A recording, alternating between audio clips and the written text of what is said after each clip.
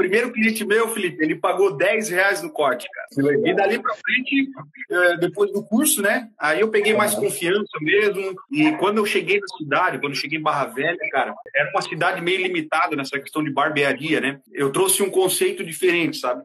Eu comecei a ver, cara, eu quero fazer tudo diferente diferente do que todo mundo faz, né? Hoje a minha barbearia ela tem mesa de sinuca, ela tem cervejeira, ela tem ambiente climatizado, é, enfim, bem decorado, assim, chegante, né? Hoje eu cobro 50 reais um corte de cabelo, né? Hoje a minha barbearia fatura em média aí de 15 mil reais por mês.